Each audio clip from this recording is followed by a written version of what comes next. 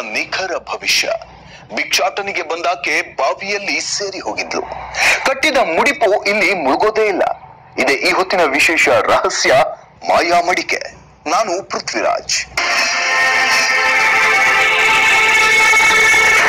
ಈ ಸ್ಥಳದಲ್ಲಿದೆ ಅತ್ಯಂತ ಪ್ರಾಚೀನವಾದ ಒಂದು ಬಾವಿ. ಈ ಬಾವಿಯಲ್ಲಿ ತೇಲುತ್ತೆ ಎಷ್ಟೇ ಭಾರವಾದ ಮಡಿಕೆಗಳು. ಇಲ್ಲಿಯವರೆಗೂ ಈ ನಿಗೂಢತೆಯನ್ನ ಭೇದಿಸ್ಲಿಕ್ಕೆ ಆಗಿಲ್ಲ. ಇಲ್ಲಿ ಮಡಕೆಗಳು ತೇಲೋದ್ರ ಹಿಂದಿದೆ ಒಂದು ರೋಚಕ ಕಥೆ. ಕೆಲ ವಿಶೇಷ ಸಮಯದಲ್ಲಿ ಮಡಕೆಗಳು ಬಾವಿಯ ನೀರಲ್ಲಿ ಒಂದು ಕಡೆಯಿಂದ ಮತ್ತೊಂದು ಕಡೆಗೆ ಸಂಚರಿಸುತ್ತವಂತೆ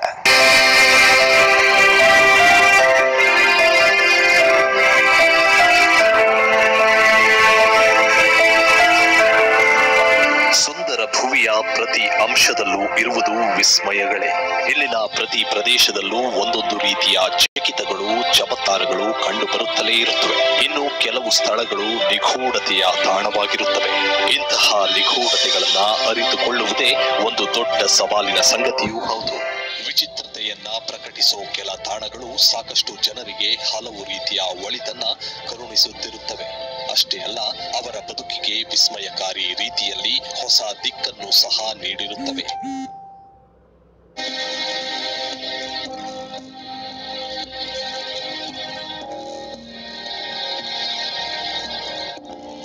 ಸಾಕಷ್ಟು ಜನರ ಬದುಕಲ್ಲಿ ಭಾರಿ ಅದ್ಭುತವನ್ನೇ ಸೃಷ್ಟಿಸಿದೆ ಎನ್ನಲಾದ ಬಾವಿಯದರ ಮಾಹಿತಿ ಪಡೆದ ನಾವು ಅತ್ತ ಹೊರಟೇ ಬಿಟ್ಟೆವು. ಆ ವಿಸ್ಮಯಕಾರಿ ಬಾವಿಯ ಬಗ್ಗೆ ಒಬ್ಬೊಬ್ಬರು ಒಂದೊಂದು ರೀತಿಯ ಅಚ್ಚರಿಗೊಳ್ಳುವ ಘಟನೆಗಳ ಬಗ್ಗೆ ತಿಳಿಸುತ್ತಲೇ ಇದ್ರು. ನಾವು ಸಹ ಆ ಚಕಿತಕಾರಿ ಬಾವಿಯ ಬಗ್ಗೆ ತಿಳಿದುಕೊಳ್ಳುವ ಕುತೂಹಲದೊಂದಿಗೆ ನಮ್ಮ ವಾಹನವನ್ನ ಅತ್ತ ಚಲಿಸುತ್ತಿದ್ದೆವು.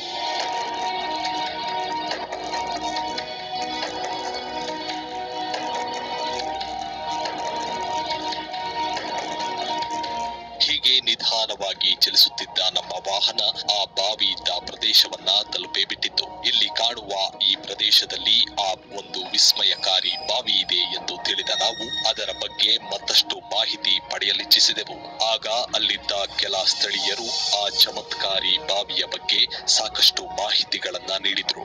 ಅದರಂತೆ ಆ ಬಾವಿಯಲ್ಲಿರುವ ಜಲ ಅತ್ಯಂತ ಪವಿತ್ರವಾಗಿದ್ದು ಬಹು ಶಕ್ತಿಶಾಲಿಯಾಗಿದೆ ಎಂಬ ಮಾತಿದೆ.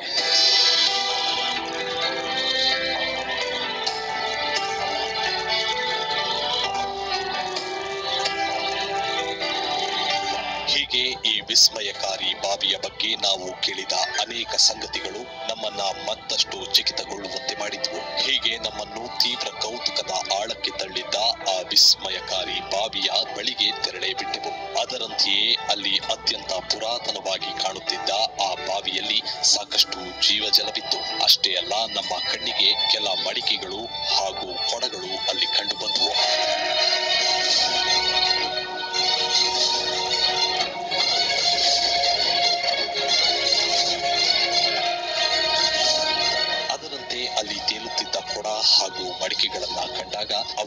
ಯಾವುದೇ ಕಾರಣಕ್ಕೂ ಮುಳುಗೋದಿಲ್ಲ. ಬದಲಾಗಿ ಈ ರೀತಿ ಯಾವಾಗಲೂ ತೇಲುತ್ತಿರುತ್ತದೆ ಎಂಬ ಮಾತು ನಮ್ಮನ್ನ ಮತ್ತಷ್ಟು ಅಚ್ಚರಿಗೊಳ್ಳುವಂತೆ ಮಾಡಿತ್ತು. ನಾವು ಈ ಬಗ್ಗೆ ಕೇಳಲಾಗಿ ಅಲ್ಲಿ ಕಾಣುತ್ತಿದ್ದ ಮಡಿಕೆಗಳು ಕೆಲವರು ಹರಕೆಯ ರೂಪದಲ್ಲಿ ಬಾವಿಯ ಜಲದಲ್ಲಿ ಬಿಟ್ಟಿತ್ತು ಎಂದು ಹೇಳಲಾಯಿತು. ಹೌದು, ಜೀವಜಲ ಹೊಂದಿರೋ ಈ ಪವಿತ್ರ ಬಾವಿಯ ಬಳಿ ನಿಂತು ಭಕ್ತಿಯಿಂದ ಬೇಡಿದರೆ ಸಕಲ ಇಷ್ಟಾರ್ಥಗಳು ಈಡೇರುತ್ತವಂತೆ ಇನ್ನು ಈ ಸ್ಥಳಕ್ಕೆ ಸಾಕಷ್ಟು ಖ್ಯಾತನಾಮರು ಆಗಮಿಸಿ ಹರಿಕೆ ಬೇಡಿಕೆಗಳನ್ನ ಈಡೇರಿಸಿಕೊಂಡಿದ್ದಾರೆ.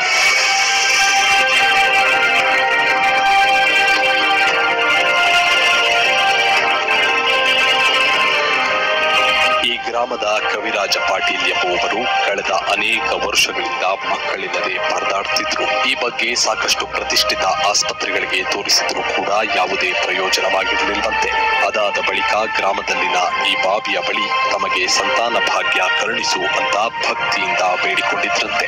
ಆಗ ಬಾವಿಯಲ್ಲಿದ್ದ ಮಣ್ಣಿನ ಮಡಿಕೆ ಆ ದಡದಿಂದ ಈ ದಡಕ್ಕೆ ಬಂದು ದರ್ಶನ ಕೊಟ್ಟು ಪೂಜೆ ಮಾಡಿಸಿಕೊಂಡು ವಾಪಸ್ ತೆರಳುತ್ತಂತೆ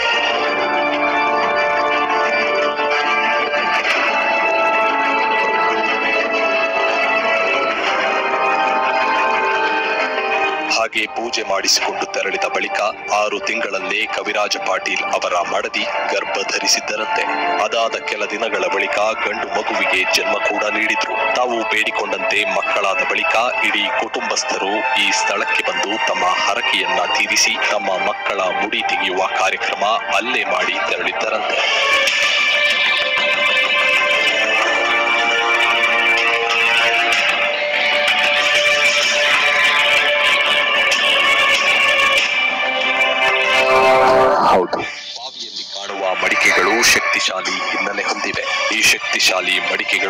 ಬಾವಿಯ ಎದುರು ಭಕ್ತಿಯಿಂದ ಬೇಡಿದರೆ ಚಲಿಸುತ್ತವಂತೆ ಅವು ಒಂದು ಭಾಗದಿಂದ ಮತ್ತೊಂದು ಭಾಗಕ್ಕೆ ಚಲಿಸುವ ಮೂಲಕ ಅಂದುಕೊಂಡ ಕೆಲಸ ಕಾರ್ಯಗಳು ಯಶಸ್ವಿಯಾಗುತ್ತೋ ಇಲ್ಲವೋ ಎಂಬುದರ ಬಗ್ಗೆ ನಿಖರವಾದ ಭವಿಷ್ಯವನ್ನ ನುಡಿಯುತ್ತವಂತೆ ಅಲ್ಲದೆ ಇಲ್ಲಿ ಸಾಕಷ್ಟು ಜನ ತಮ್ಮ ಹರಕೆಗಳನ್ನ ತೀರಿಸುವ ಸಲುವಾಗಿಯೂ ಮಡಿಕೆಗಳನ್ನ ತೇಲಿ ಬಿಡುತ್ತಾರೆ ಎಂದು ಹೇಳಲಾಗುತ್ತೆ.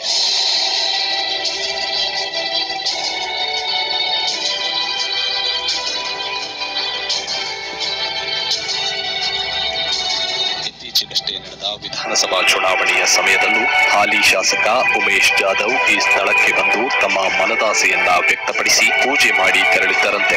ಹೀಗೆ ಈ ಸ್ಥಳಕ್ಕೆ ಆಗಮಿಸಿ ಭಕ್ತಿಯಿಂದ ಪೂಜೆ ಸಲ್ಲಿಸಿದ ನಂತರ ಒಂದು ಪವಾಡವೇ ನಡೆದು ಹೋಗುತ್ತೆ. ಉಮೇಶ್ ಜಾಧವ್ ಪೂಜೆ ಮಾಡಿ ತೆರಳಿದ ಬಳಿಕ ವಿಧಾನಸಭೆ ಚುನಾವಣೆಯಲ್ಲಿ ಭಾರಿ ಅಂತರದಿಂದ ಗೆಲುವು ಸಾಧಿಸಿದರು. ಚುನಾವಣೆಯಲ್ಲಿ ಗೆದ್ದ ಬಳಿಕ ದಂಪತಿ ಸಮೇತರಾಗಿ ಜಾಧವ್ ಈ ಗ್ರಾಮಕ್ಕೆ ಆಗಮಿಸಿ ಪೂಜೆ ಸಲ್ಲಿಸಿ ದೇವಿಯ ಆಶೀರ್ವಾದವನ್ನ ಪಡೆದು ತೆರಳಿರುವುದನ್ನ ಗ್ರಾಮಸ್ಥರು ಇಂದಿಗೂ ಸ್ಮರಿಸುತ್ತಾರೆ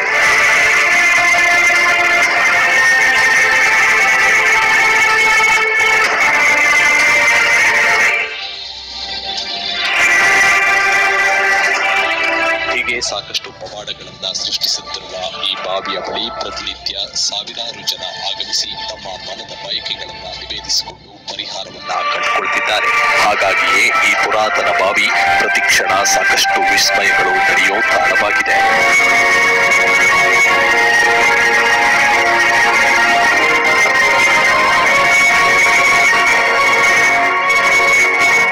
ಈ ಬಾವಿಯಲ್ಲಿ ತೇಲೋ ವಸ್ತುಗಳು ನಿಜಕ್ಕೂ ಒಂದು ರೀತಿಯ ಪವಾಡವನ್ನೇ ಸೃಷ್ಟಿಸ್ತಿವೆ ಈ ಬಾವಿಯ ಎದುರು ನಿಂತು ಭಕ್ತಿಯಿಂದ ಬೇಡಿದ್ರೆ ಸಕಲ ರೀತಿಯಲ್ಲೂ ಒಳಿತುಂಟಾಗುತ್ತೆ ಅಂತ ಹೇಳಲಾಗುತ್ತೆ. ಈ ವಿಸ್ಮಯಕಾರಿ ಬಾವಿಯ ಬಗೆಗಿನ ಮತ್ತೊಂದು ಸಂಗತಿ ನಮ್ಮನ್ನ ಇನ್ನಷ್ಟು ಚಕಿತಗೊಳ್ಳುವಂತೆ ಮಾಡುವುದು ಸುಳ್ಳಲ್ಲ. ಇದ್ರ ಬಗ್ಗೆನೂ ಹೇಳ್ತೀವಿ ಒಂದು ಚಿಕ್ಕ ವಿರಾಮದ ನಂತರ.